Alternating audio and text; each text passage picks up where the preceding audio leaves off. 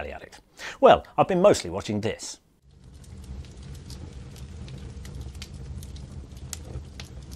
An American Guardian writer was getting misty-eyed in the paper last week about TV's syndicated New York Yule Log. Well, Sky have come to the rescue with a selection of Christmas scenes, including a cover version of the classic.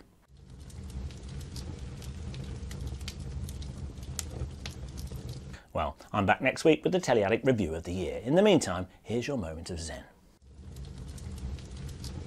Actually, hang on, because out of the pre-Christmas vacuum came an important two-part double feature-length drama from ITV this week, and a contender for the best of the year, as stately as this from the start.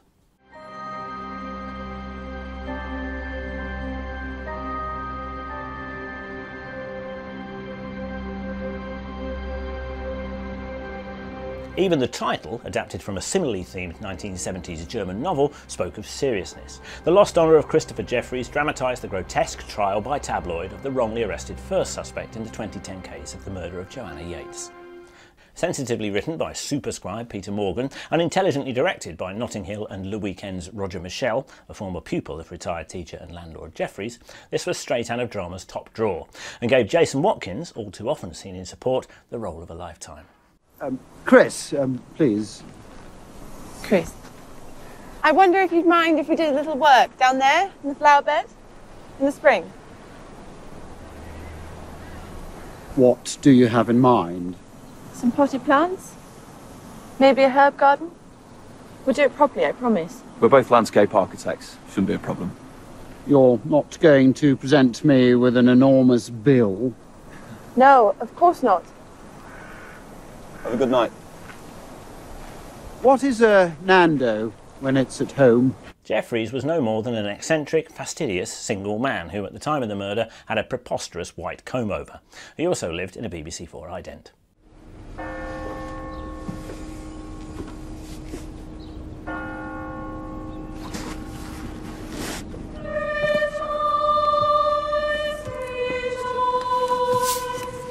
As we were reminded in the film, being posh, bookish and effete were clear indicators of homicidal guilt in the eyes of The Sun, Mail, Mirror, Express, Star, Daily Record and Scotsman. You're the first English teacher I've taken a statement from. You'll have to forgive the bad spelling. May I at least correct the spelling?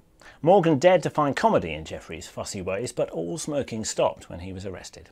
In a fine example of substance justifying directorial style, Michell made disturbingly descriptive use of shallow focus to convey the poor man's befuddlement.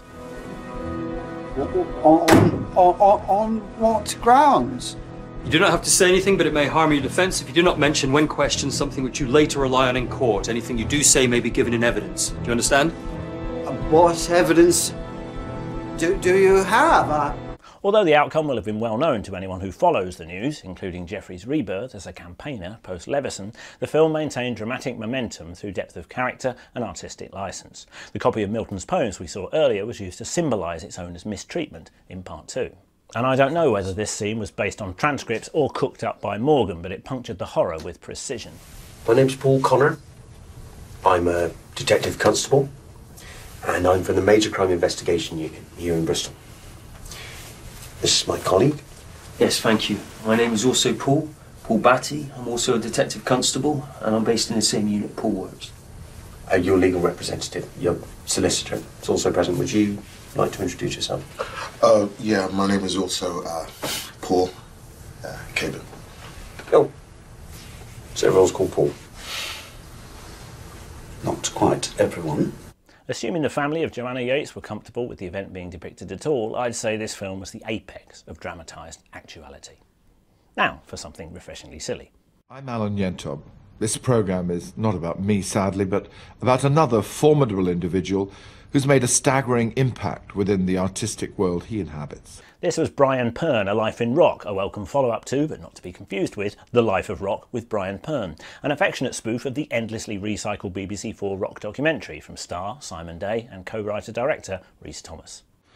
Brian Pern is one of the most influential rock stars of his generation. For almost 40 years, he's been entertaining millions around the world, both as lead singer of the progressive rock group Thotch and as a solo artist. A true pioneer, Brian was the first person to use plasticine in videos. He invented